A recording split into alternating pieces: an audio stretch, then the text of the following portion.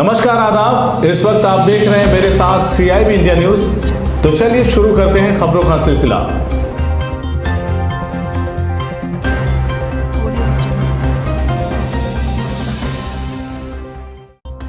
बिजनौर में स्कूल के चपरासी द्वारा छात्र के साथ बदसलूकी करने का मामला सामने आया है।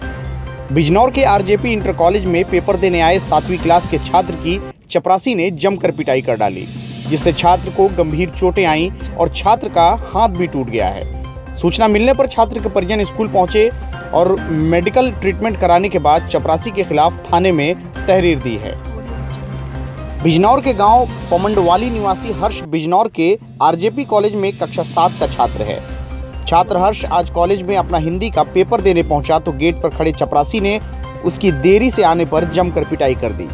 पिटाई के दौरान छात्र का हाथ टूट गया। हाथ टूट जाने के बाद स्कूल प्रशासन ने छात्र के परिजनों को इसकी सूचना दी। सूचना मिलने पर कॉलेज पहुँचे परिजन छात्र हर्ष को उपचार के लिए अस्पताल ले गए जहाँ उसका इलाज करवाने के बाद परिजनों ने चपरासी के खिलाफ थाने में छात्र से मारपीट करने की तहरीर दी है। नाम भूपेंद्र सिंह। बताइए क्या मामला हुआ है? मामला ये है मेरा लड़का पेपर देने आया था आरजीपी स्कूल में।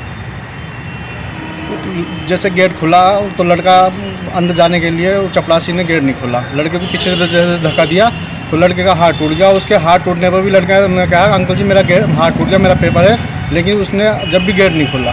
क्या मारा भी है इन्हें? मारा ये मानने का तो उसके इस लड़के को पता होगा।